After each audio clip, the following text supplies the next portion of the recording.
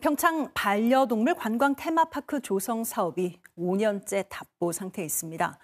유기동물 보호소가 들어선 뒤 사실상 사업이 중단된 건데요. 무슨 사연이 있는 건지 이현기 기자가 취재했습니다.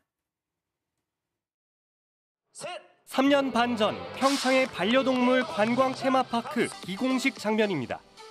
민간 자본 330억 원을 들여 축구장 30개 크기의 테마파크를 조성할 계획이었습니다. 당초 완공 목표는 올해였습니다. 하지만 공정률은 아직 10% 정도입니다. 테마파크 조성 현장의 모습입니다. 지금은 사육장과 함께 이렇게 유기동물 보호소가 운영되고 있습니다. 사업자 내부 갈등이 주요 원인으로 꼽힙니다. 기존 사업자의 법인 대표와 임원이 서로 자신이 사업을 하겠다며 소송까지 벌이고 있습니다. 사업은 아직까지 접은 것도 아니고요.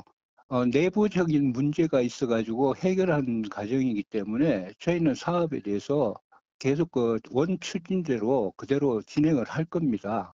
민화가부터 PF까지 토지 매입까지 전체 같이 임원진들이 같이 힘을 합쳐서 사업을 진행을 했습니다. 반려동물 테마파크는 계속 추진할 어, 의사가 충분히 있고 환경 문제도 남아 있습니다.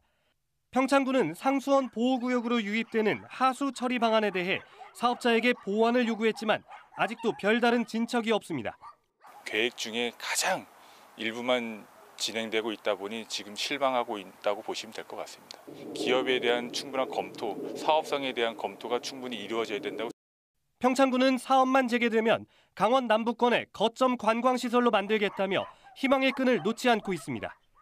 KBS 뉴스 이현기입니다.